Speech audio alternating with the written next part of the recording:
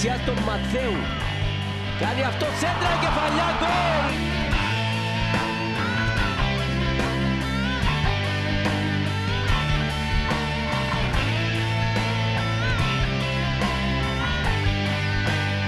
Ευκαιρία για τον Απόλλωνα 3-1 ο Μάκουιτσα.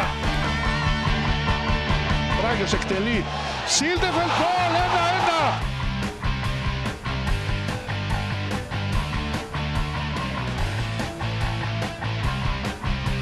Ο Ζαχίδ εκτελεί. Δεν βγαίνει ο Κόμπριβετς.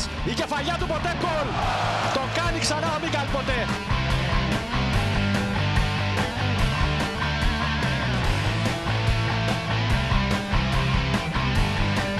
Αρένα, για να δούμε ευκαιρία για την ΑΕΚ το γύρισμα.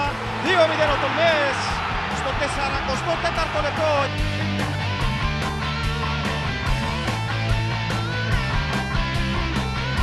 Κάθετη για τον ποτέ είναι εξαιρετική απέναντι στον Γκρέμψιν το πλασέ. Γκολ για τον Αποέλ.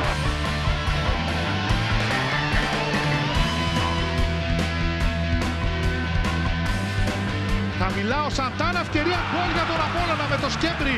2-1.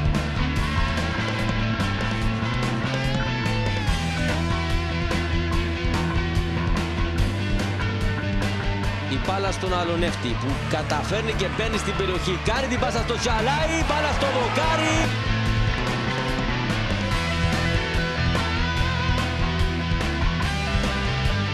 Για να δούμε τώρα την ομόνια. Η σέντρα είναι καλή.